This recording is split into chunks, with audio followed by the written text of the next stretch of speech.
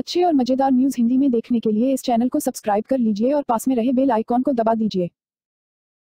रायपुर, छत्तीसगढ़ के कवर्धा ज़िले में एक अनूठी परंपरा के तहत बैगा आदिवासियों के विवाह में दूल्हे को दुल्हन की माँ शराब पिलाकर रस्म की शुरुआत करती है और इसके बाद पूरा परिवार इसका सेवन करता है।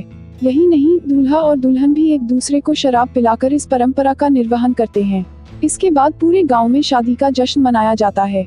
अगर आप सोच रहे हैं कि शराब बुरी चीज़ है और शादी ब्याह जैसे मांगलिक कार्य में इसका क्या काम तो आप गलत हैं। बैगा आदिवासियों का समुदाय इस पूरे मामले में पूरी तरह से अलग है, क्योंकि इस समुदाय में शादी ब्याह से लेकर मातम में भी शराब का सेवन किया जाता है। ज़िले के सुदूर वनांचल में निवासरत बैगा आदिवासी परिवार में अब शादी का सिलसिला शुरू हो जाएगा। शादी पर्व का इन परिवारों को बेसब्री से इंतज़ार होता है। शादी पर्व में बाराती और घरती तो शराब पीते ही हैं, साथ ही दूल्हा दुल्हन को भी शराब का शगुन करना बेहद ज़रूरी होता है। बारात जब दुल्हन लेने गाँव पहुँचती है तो सबसे पहले शराब का ही शगुन किया जाता है। खुद दुल्हन की माँ दूल्हे को अपने हाथ से शराब पिलाती है। इसके बाद दूल्हे और दुल्हन की बारी आती है और वे भी एक दूसरे को शराब पिलाते हैं। बैगा समुदाय को करीब से जानने वाले चंद्रशेखर शर्मा बताते हैं कि बैगा आदिवासियों की शादी में कोई पंडित नहीं होता और न ही कोई विशेष सजावट होती है। यहाँ तक दहेज प्रथा भी पूरी तरह से बंद है। यहाँ चलता है तो केवल महुए से बनी शराब।